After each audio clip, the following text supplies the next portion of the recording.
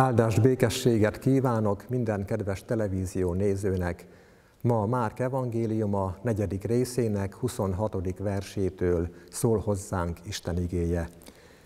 Ezt is mondta Jézus, az Istennek országa úgy van, mint amikor az ember beveti a magot a földbe, azután alszik és felkel, éjjel és nappal, a mag pedig kihajt és felnő, ő maga sem tudja miképpen mert magától terem a föld először zöld sarjat, azután kalászt, azután magat a kalászban. Amikor pedig a termés engedi, azonnal nekiereszti a sarlót, mert itt az aratás.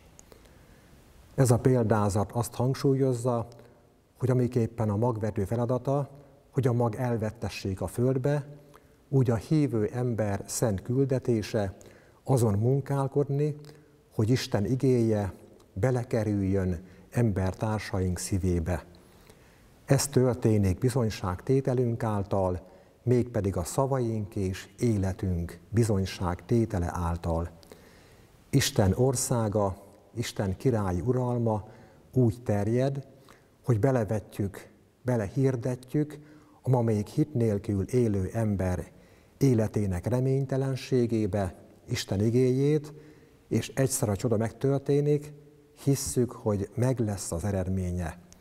Ha az igének a magja esetleg hosszú időn keresztül elrejtve lappang abban a szívben, amelyben elvetettük, sőt, ha fagyos kéreg fedi is sokáig, vagy ha úgy látszik, mintha elhalt volna már az a mag, akkor sem szabad csüggedni, mert egy biztos, nem volt hiába a magvetés. Mert a magvetés sohasem hiáb való. Még akkor sem, hogyha a példázat szerint a magvetésnek egy része köves talajba esik, más része tövések közé, vagy éppen letaposott útfére.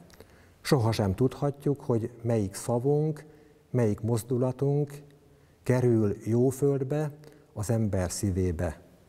Jézus a példázatban attól a csüggedéstől, türelmetlenségtől akar bennünket óvni, ami a bizonyságtételünk eredménytelenségének látszatából ered.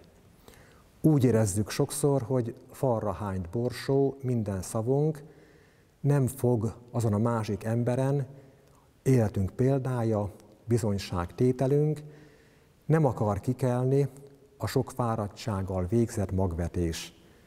Ezt mondja e példázatban Jézus, hogy ne törődjünk vele, végezzük hűséggel a magvetés szolgálatát továbbra is, és bízzuk rá a folytatást Istenre.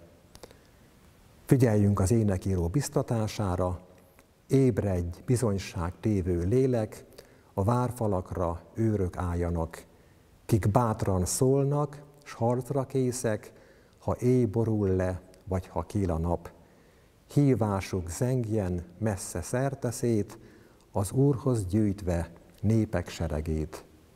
Amen.